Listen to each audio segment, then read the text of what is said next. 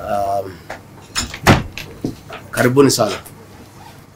Uh, Your Excellency the person of the great democracy, the United States of America, and your team. Thank you. I want to take this opportunity to welcome you to our office here, and uh, we are delighted to host you. And uh, want from the very onset to say that we are very happy that you have settled down very quickly and started very robust engagement with our government and the people of Kenya.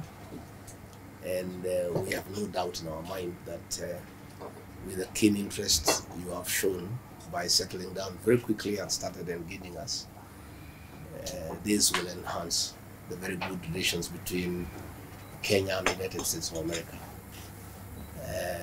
We enjoy very, very good uh, relations with the United States, and uh, United States is our greatest uh, trade partner in the world. Yes.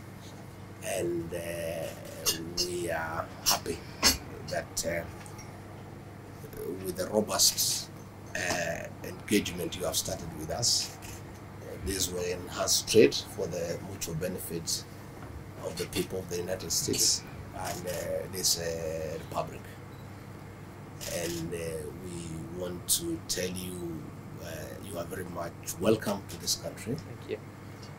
and uh, other than uh, enhancing our very good relations, we also want to wish very good stay in this country. Thank you.